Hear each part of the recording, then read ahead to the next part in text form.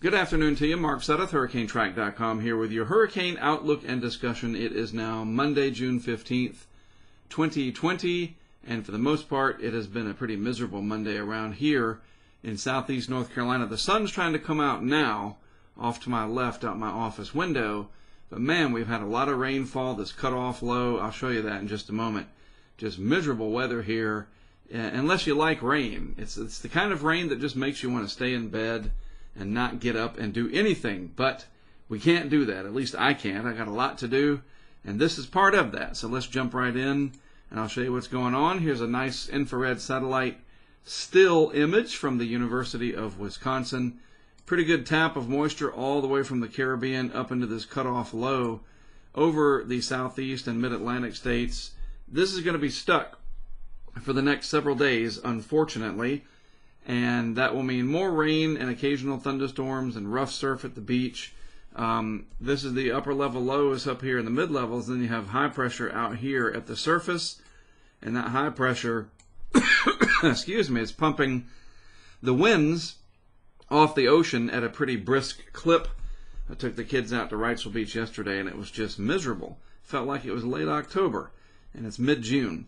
Anyway, the bottom line yes, there's some disturbed weather out here, but the atmosphere is not in a situation where anything can develop. There's just too much in the way of sinking motion.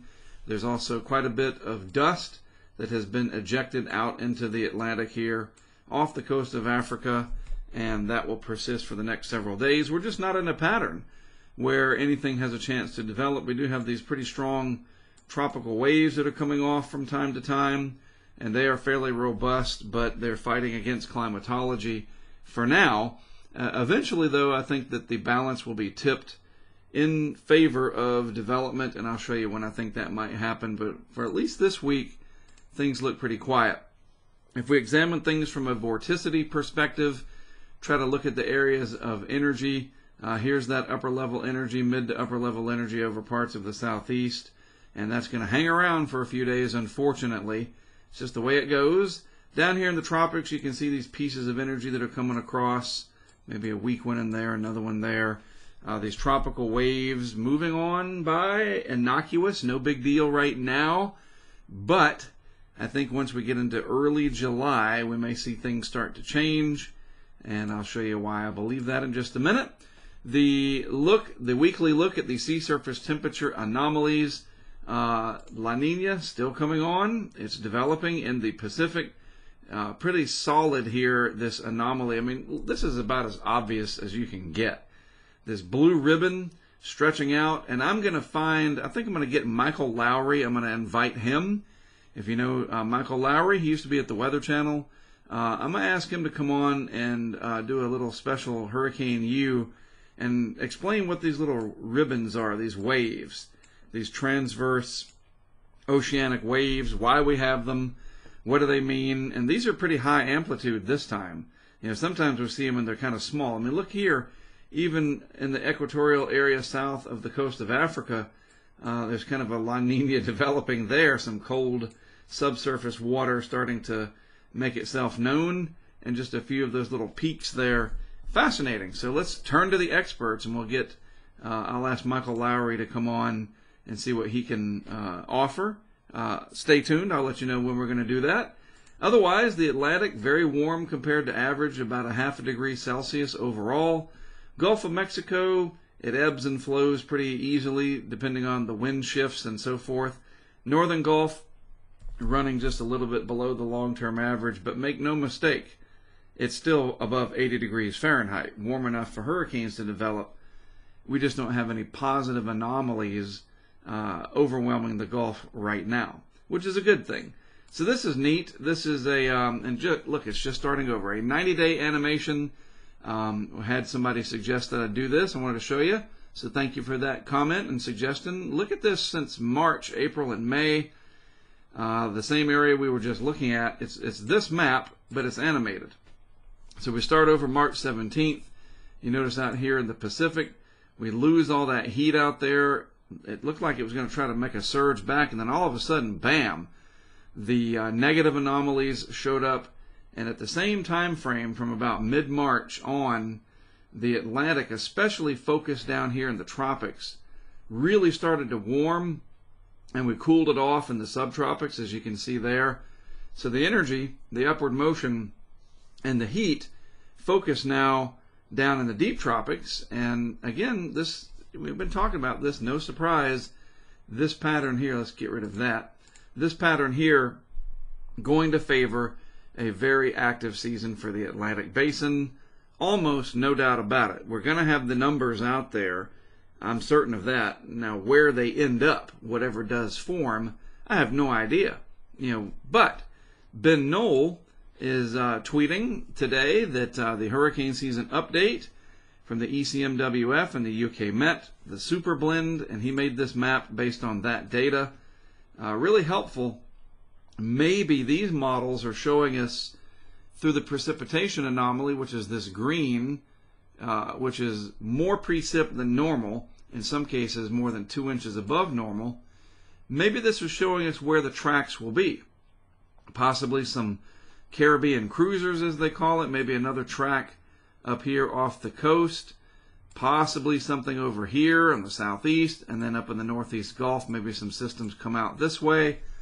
Maybe. This will be really interesting to see as we compare this, and I'm going to save this graphic in the old archives and see when all is said and done if, uh, excuse me, if this has. I ate some uh, pretzels earlier. I still have some. I should have drunk some water.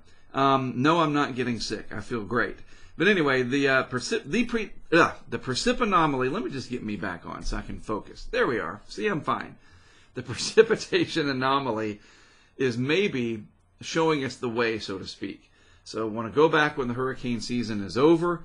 We look at the tracks of what we had, and we can compare it to this and see if this kind of guidance is in fact useful or was it just complete hogwash. We'll see. Remember, this is not some map that is drawn um, through uh, subjectivity, you know, where someone says, I think this is what's going to happen. This is based on computer model data, and so it's very objective. It's just, it's just using raw numeric output from the models here, the ensemble forecast, showing what the precipitation anomaly is forecast to be from the ECMWF and the UK Met through the next several months. And you see that swath there, the darker green. Very interesting. So we'll see if this has any merit. Uh, again, that is being saved, and we will revisit this in November. All right, so mark it down. Watch Mark's discussion in November and see how this worked out. There you go. Uh, so when will things start to pick up to where maybe this map starts to bear some fruit, so to speak? Well, Eric Webb tweeting just a few days ago that the EPS, which is the uh, ensemble prediction system, consistently hinting at a massive uptick in East Pacific and West Atlantic convection near the end of June. This may result in a burst of Northeast Pacific tropical cyclones and perhaps a more favorable subseasonal state for tropical cyclogenesis in the Atlantic by early July. So, what the heck are we looking at? All right, so let me try to help you understand this real quick. Um, so, in this particular graphic, the green areas and sort of the, I don't know what you call that, almost teal, basically green, if it's not brown or rust colored or orange, green is upward motion in the atmosphere or the model's way of signifying divergence in the atmosphere where the air is spreading out instead of sinking and coming together, convergence. And so what we're looking at is, uh, let's get rid of me, this is the time right here. So this is where we are now, 13th of June. Well, we're here. Eric tweeted this on the 12th. So time goes this way, out into the future. And so the end of this is the 27th of June. You understand?